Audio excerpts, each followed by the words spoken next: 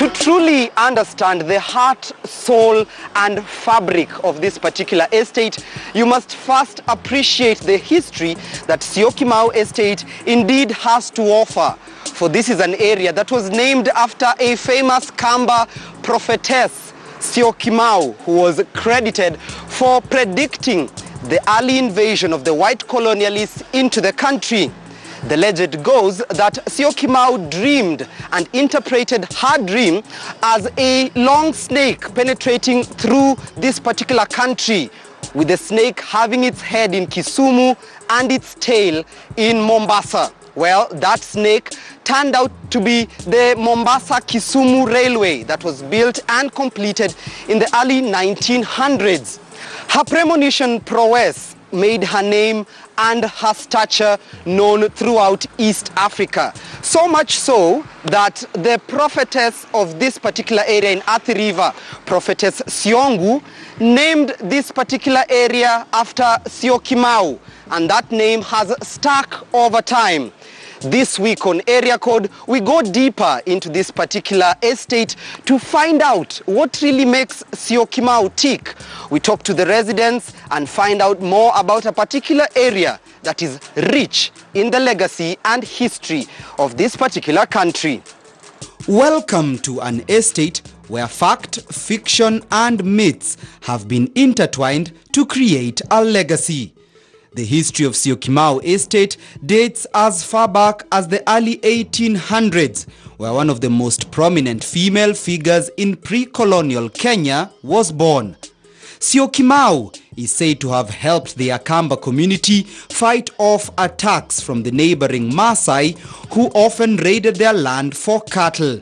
Syokimau predicted attacks by the Maasai long before they came, giving the Kamba people ample time to prepare for defense. The widely acclaimed prophetess among the Kamba community is also hailed for predicting the coming of the white colonialists. The legend goes that Syokimau once said foreigners carrying fire in their pockets, which would later be revealed to be guns, would visit their land. At the Syokimau railway station stands this statue in her honor. But the land which is now known as Syokimau is not where the prophetess buttered her bread. This area was governed by another prophetess called Siongu, who was also impressed by Syokimau's prowess, which led her to name a section of her village after her. After colonialists invaded the country, they turned the land where Syokimau now rests into a ranch because of the semi-arid conditions of the place. Today, Syokimau is a bustling metropolis. Uh, personally, I see it as my high-end settlement. Um, I call it my Muthaiga, my Karen, uh, and I think it has grown over time. And that growth has been characterized by a sprouting commercial hub that earns the county government of Machakos nearly 60% of its total revenue collection. And perhaps therein lies the problem. Because of its commercial viability, zoning rules here are seldom adhered to. In this estate, commercial buildings lay side by side with residential homes. Current Mavoko Member of Parliament, the constituency where Syokimau is located, Patrick Makau, was the former mayor of the now defunct Mavoko Municipal Council. He says initially, majority of Syokimau was under Zone 4, where you see the white subdivided plots, meaning only low density housing and single dwelling premises were allowed. But now things have changed. During my tenure as a mayor, you know, we used to have the, the council bylaws, and um, then it used to be Cap 297, which used to have um, the Planning Act also used to be 266. Now, I don't know whether it's still applied in the, in the, in the, the county governments. Uh, I don't know what NEMA is applying. I don't know what the NCA is applying. But, but, but I tend to think that there used to be more order during the council days, during the local authority days, uh, as opposed to today. The yellow strip you see on this map is Zone 0, allocated for commercial, institutional and light industry buildings. That yellow strip is slowly moving inwards and the residents are a worried lot. The growth of the estate and the subsequent resistance to the changing zoning laws have often led to a series of huge losses from both home and business owners who have witnessed demolition of their property in Syokimau over the past few years. But if the zoning issue may deter you from moving into the estate or even force residents here to relocate, then this woman may give you a reason to stay.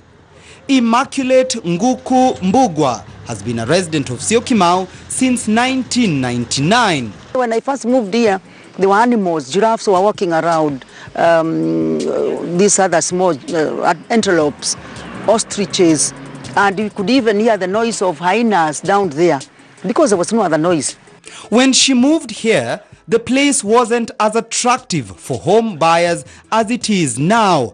Back then, the area had no water or electricity supply. Seeing nothing becoming something. When I first came, there was really nothing.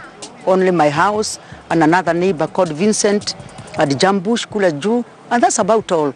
All these people you see here have come since I moved in, in a big, big way. Immaculate is among the most popular residents in Syokimau, And that's not because she was among the first occupants of the area. No, it's because Immaculate constructed the most unique house even I have ever seen.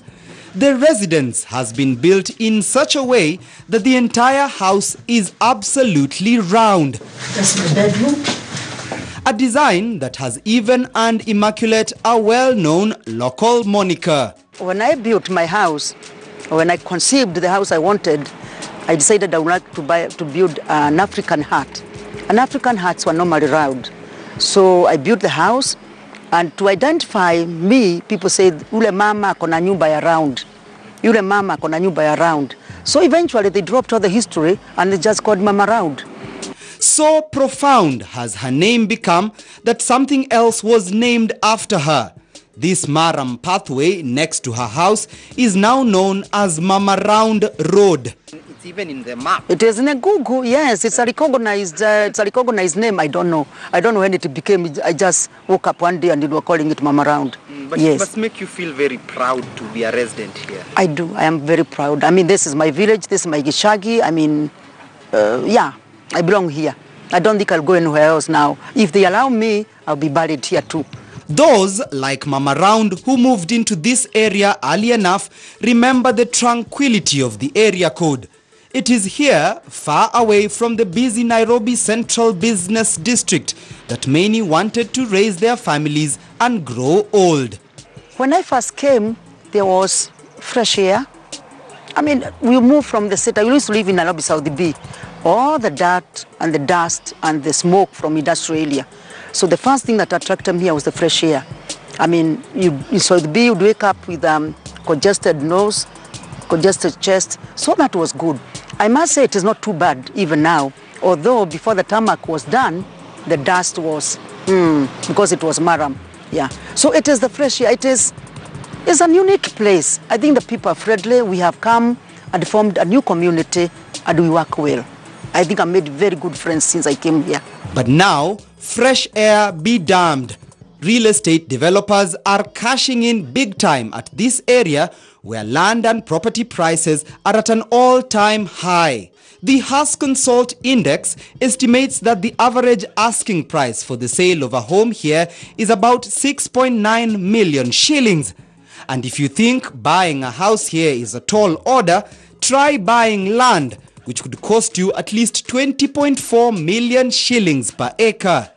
Despite that, a majority of the residents here are individual land and home owners, with rental prices averaging about 35,000 Kenya shillings for a three-bedroomed house.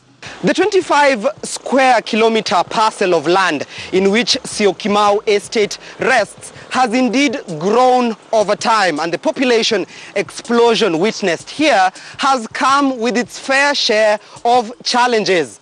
On the second part of this particular segment, we look much deeper into the issues affecting the residents of Siokimau Estate.